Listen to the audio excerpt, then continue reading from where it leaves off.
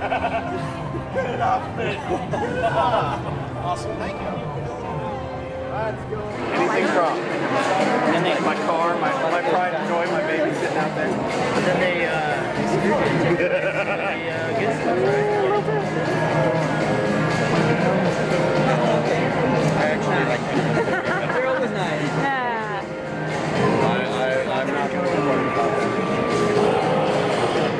All right, so I'm here with Brandon Kleyla at the uh, Parks and Resorts Pavilion at D23. Now, talk about what this office is. This we have behind us here. Right here, what we have behind us is basically uh, one of our typical offices at Walt Disney Imagineering. Uh, we went back on a uh, little research trip to Pandora.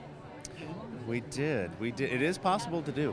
Um, and if you if you look on our laptop, we've been downloading a lot of photos today from that trip, so you'll see some of those as well. They'll rotate through.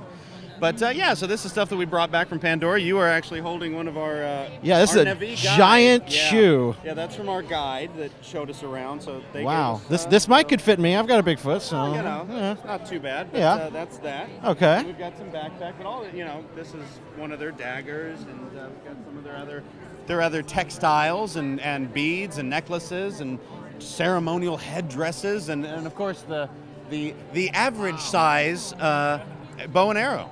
Forget, you forget how big the uh, Na'vi are. They are large. They are you know anywhere from nine to ten feet tall, so they're they're pretty big. of course, you got your, your air mask over there for. You never know. Yeah. You know, just in case. The air the air quality has improved, but you never know.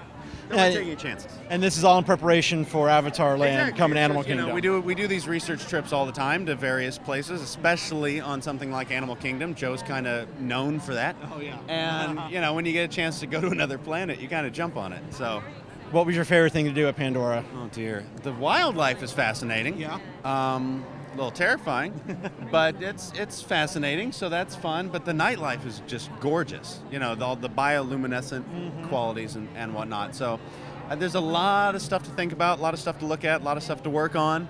Um, for me, being a set decorator, a lot of stuff to figure out how to, you know, duplicate for the parks. Mm-hmm. Yeah. Giant shoes Right, being, you know, one. Um, lot lot of work ahead of us.